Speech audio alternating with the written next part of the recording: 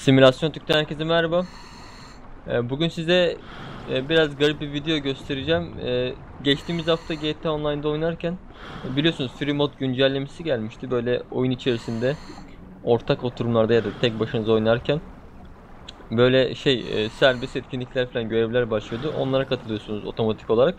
Ee, Ben de helikopter e, çağırmıştım. Bir önceki görev bitmişti.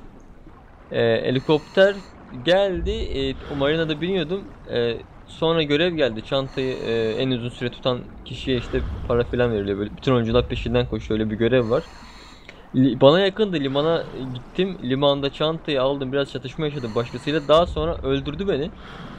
E, uçağı da falan patlattı helikopteri. E, çantayı ben e, şeyde düşürdüm. E, geminin yanında düşürdüm. Şimdi burada göremiyorsunuz ama e, geminin yanına düşürdüm. E, haritadan bakabilirsiniz. Orada düşürdüm.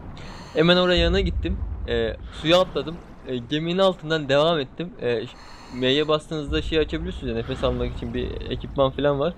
Silahçıdan alabilirsiniz. Ona aldım. Bir de doluydu o. Baya böyle sonuna kadar e, suyun altından herkes atladı peşimden falan. Herkes atlıyor. Geberiyorlar falan. Nasıl merak ediyorlar nasıl kalıyorum diyor bu kadar.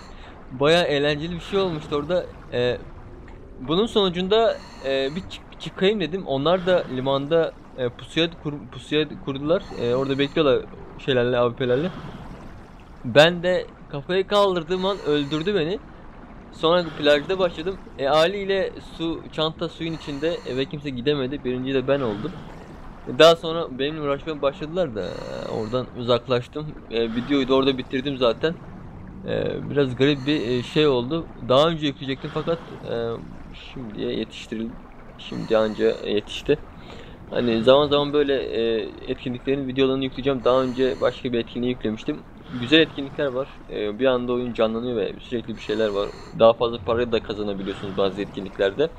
Hani şey GTA Online'da böyle bir şeyin olması, yükleme ekranı olmadan pat diye başlıyor böyle bir anda.